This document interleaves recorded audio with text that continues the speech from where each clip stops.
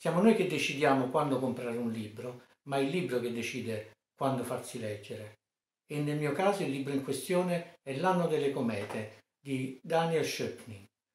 È un libro molto bello che ho comprato prima di questa eh, pandemia e che ho letto durante questo periodo di confinamento e ho scoperto che aveva molto molto a che vedere con, con, quello che stavamo vivendo.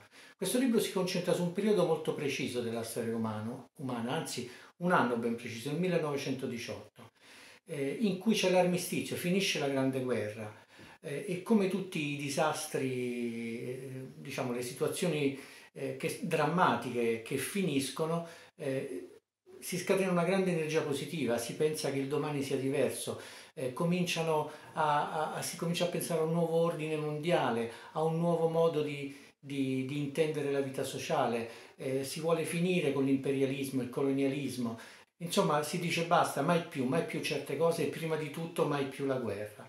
Il libro è narrato in maniera molto, eh, molto particolare perché mette insieme le vite di diverse persone e l'autore si è andato a leggere i loro diari, loro, eh, i loro scritti di quel periodo. Sono persone famose, eh, da Virginia Woolf a, a Herzberger che fu il negoziatore della, dell'armistizio, eh, dal re Guglielmo di Prussia a Alma Mahler che era il, la moglie di Gustav Mahler e che poi si sposò con eh, Gropius, l'iniziatore del design moderno, il fondatore della Bauhaus eh, c'è la Repubblica di Weimar, la Russia di Lenin, c'è anche purtroppo un, un, un riconoscimento di un antisemitismo eh, che già allora faceva sentire il suo, il suo peso.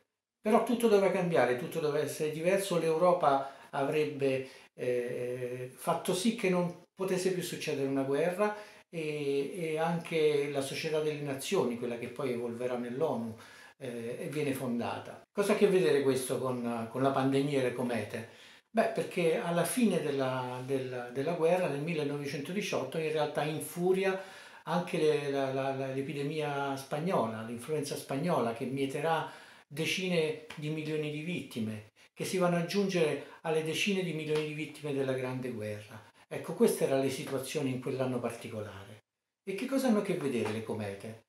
Beh, nel 1910 arrivano due comete visibili a occhio nudo, una cosa rara. Eh, torna Halley per la prima volta in epoca fotografica, quindi abbiamo le prime immagini della cometa. E nello stesso anno arriva invece una cometa che viene dalle profondità dello spazio, la 1910 A1. E poi da qualche parte eh, c'è, un, un, un, impatto asteroidale, non, non grande, non, non eh, pericoloso, ma comunque qualcosa di quelle che fa notizia.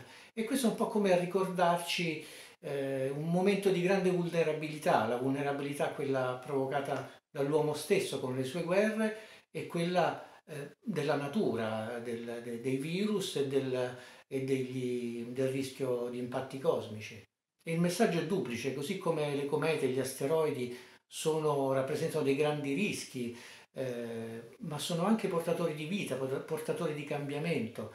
Eh, le comete, sì, se, se impattano eh, sulla Terra possono anche causare la distruzione della nostra civiltà, ma non dimentichiamoci che sulle comete, sul ghiaccio delle comete ci sono i composti organici che secondo la teoria della panspermia sono portati in giro per la galassia.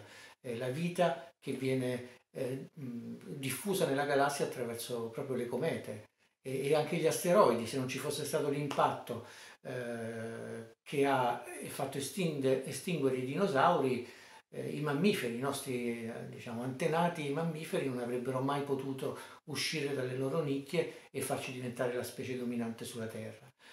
Quindi in questo libro eh, c'è un monito che è quello di, di, non pensare che adesso cambi tutto solo perché noi vogliamo cambiare tutto, perché abbiamo visto eh, quello che non andava.